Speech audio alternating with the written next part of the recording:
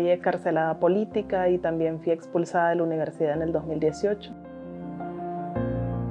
Mi nombre es Yaritza Judith Rostrán Mairena. Actualmente vivo en Costa Rica, me dedico a estudiar. También mantengo mi activismo siendo parte de la Unión de Presas y Presos Políticos Nicaragüenses, que es una organización de víctimas de prisión arbitraria y tortura. Nos dedicamos a denunciar las graves violaciones a derechos humanos de las que fuimos víctimas y además eh, continuar con nuestro activismo por una Nicaragua libre, justa y democrática.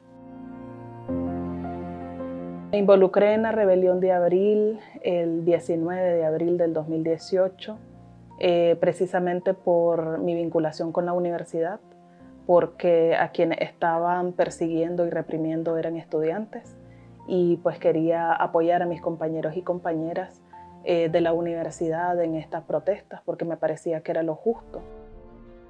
El 19 de abril nunca me esperé vivir la represión policial de esa manera y vivir esa experiencia de la represión policial me comprometió mucho más con, con, la lucha cívica y pacífica de los estudiantes y del pueblo en general. El 7 de mayo convocamos a una marcha en la universidad eh, que terminó en la toma del recinto universitario Rubén Darío en Managua y desde el 7 de mayo estuve atrincherada ahí hasta el 13 de julio que lamentablemente se dio el ataque paramilitar de más de 15 horas en donde estuvimos encerrados en la Iglesia de Divina Misericordia y bueno, ataque del que soy sobreviviente. El 25 de agosto en la ciudad de León estaba en una marcha que fue convocada por el movimiento estudiantil 19 de abril Una León.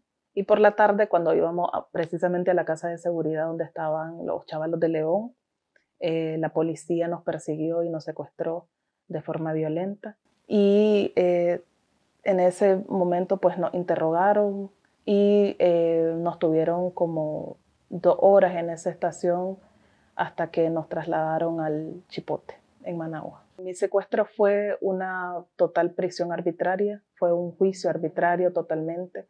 A nosotros nos acusaban de eh, cometer delitos desde el 18 de abril hasta agosto, que nos secuestraron, de cometer actos delictivos en la ciudad de León, cuando nosotros ni siquiera habíamos estado en León todo ese tiempo. Nosotros estábamos en Managua y teníamos pruebas de que habíamos estado en Managua. Nos acusaban de cosas como tráfico de armas, eh, levantar tranques en la ciudad y cometer robos y secuestros.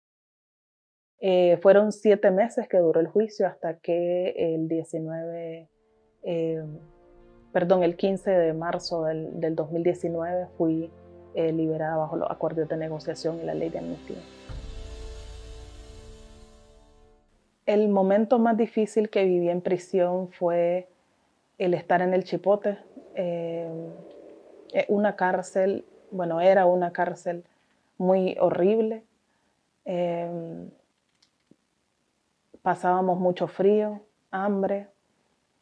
Era bastante horrible la forma en la que nos trataron los policías y eh, los constantes interrogatorios en el, en el chipote. Creo que em, también la parte más difícil fue vivir los interrogatorios que le hacían a mi compañera de celda, que eran mucho más fuertes que los que me hacían a mí. Ella es Kenia Gutiérrez, de Chinandega. Y ver la forma en la que la trataban a ella fue realmente horrible.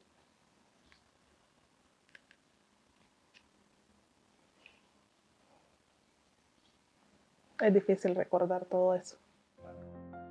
Actualmente aquí en Costa Rica me dedico a estudiar, estoy retomando la universidad y la carrera de trabajo social. Tengo poco de haber entrado a la universidad, pero me siento realmente feliz. Aunque el exilio ha sido difícil, las carencias, la, soledad que se siente en el exilio es bastante dura, sin embargo, eh, al menos estoy estudiando y eso ya me, causa esperanza de que voy a ser una profesional, de que voy a poder aportar a mi país. Una de las cosas que me ha convencido de, aplicándome a los estudios ha sido eh, la determinación de poder trabajar con chavalos y chavalas de, barrios pobres como yo, que eh, muchas veces no tienen oportunidad o, no tienen los recursos para continuar los estudios o para ser profesionales Entonces creo que la carrera de trabajo social me va a ayudar muchísimo en eso y creo que eso me mantiene motivada.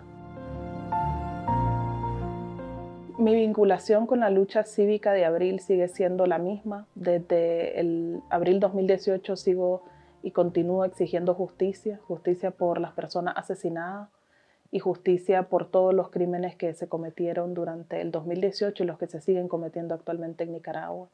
Me he comprometido a trabajar el tema de justicia, no solamente levantando la voz como víctima, sino también documentando esas graves violaciones de derechos humanos, denunciando ante los organismos internacionales y lo que yo digo, ir construyendo ese camino hacia la justicia, que no es un tema para después, ni para 20 o 30 años después de la transición, sino que depende directamente de la transición y que tenemos que construir ese camino desde ya, que sea un camino sólido.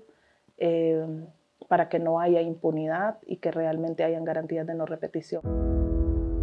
Yo tengo la esperanza de que Nicaragua en un futuro próximo sea una nación democrática. No creo que el régimen Ortega Murillo pueda sostenerse por mucho tiempo más. Entonces tengo la, convicción de que eh, Nicaragua pronto será libre, justa y democrática.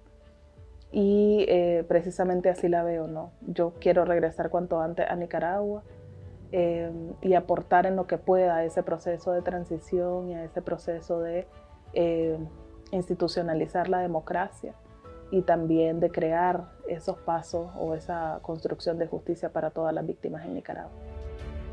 Deseo para Nicaragua que no haya más pobreza ni más violencia. Eh, creo que han sido las dos cosas que hemos sufrido más los nicaragüenses a lo largo de nuestra historia.